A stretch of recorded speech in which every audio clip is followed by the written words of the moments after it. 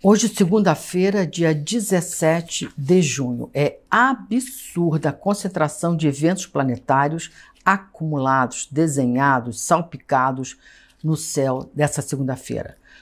Por isso, dividimos aqui os assuntos, né, os vídeos, em duas etapas. No vídeo de ontem, domingo, a gente conversou sobre a conjunção Mercúrio e Vênus, já ingressos no signo de Câncer, e, separadamente, o que acontece quando Mercúrio transita o signo de Câncer e, igualmente, Vênus transita esse signo. Volta lá no vídeo de ontem, domingo, e assista sobre esses temas Mercúrio, Vênus no signo de Câncer. Hoje nós vamos falar sobre Mercúrio, ainda nos últimos graus do signo de Gêmeos, antes de fazer a travessia para Câncer, recebendo os golpes, as nebulosidades, as brumas de Netuno. Vênus igualmente. Vamos começar por essa desaliança entre Mercúrio nos últimos graus de Gêmeos contra Netuno nos últimos graus de Peixe.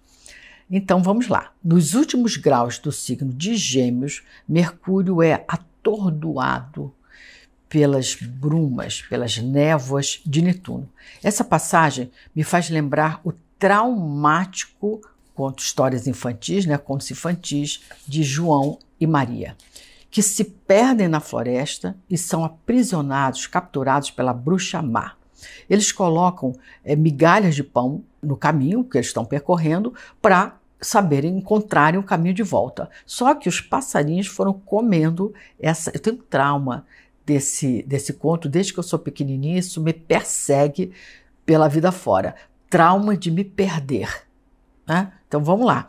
Esse conto revela muito essa experiência, de novo, assim, atordoante e traumática. Então, os passarinhos comem né, essas migalhas é, de pão e eles não conseguem portanto, encontrar o caminho de volta. Se perdem na floresta e são encontrados por quem? A bruxa má, e sofrem o diabo até conseguirem escapar. Mas, de qualquer maneira, sob esse ciclo é o que acontece. Mercúrio contra Netuno.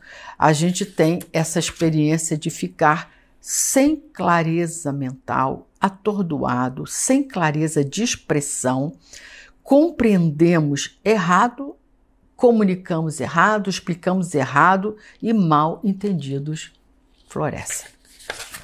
Nos extraviamos dos caminhos, perdemos coisas, nos esquecemos de tarefas, confundimos as bolas.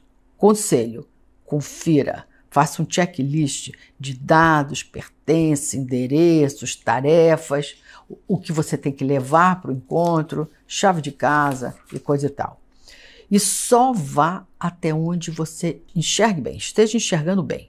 Ou siga apenas os caminhos que você já conhece de cor e pode percorrê-los de olhos fechados. Fora isso, é só engano. Hackers, fake news, golpes invadem os nossos meios de comunicação. Agora nós vamos explicar para vocês, decodificar o que acontece com essa dupla Vênus desalinhada, né, com Netuno, que acontece quando esses dois se juntam de uma forma desarmoniosa. Vênus nos últimos graus de Gêmeos é igualmente enfeitiçada por Netuno. Atenção redobrada, pessoal, para equívocos nos negócios que parecem muito melhores do que realmente são. Dinheiro na mão é vendaval. É o refrão perfeito para esse ciclo. Simplesmente a grana desaparece, some por mágica. E a gente não consegue nem rastrear onde é que foi que a gente gastou tanto, onde é que a grana foi parar. Ela simplesmente sai das nossas mãos.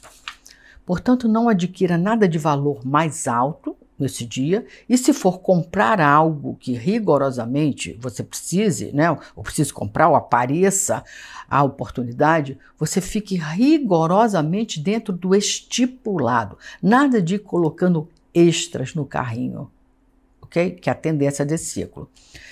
Nos afetos, fantasias batem à nossa porta e podemos estar iludidos em relação às chances reais de um relacionamento onde há ilusão, mora a desilusão. E aqui, nesse dia, sob Vênus e Netuno, nosso coração pode se ver degladiado entre o real e o ideal.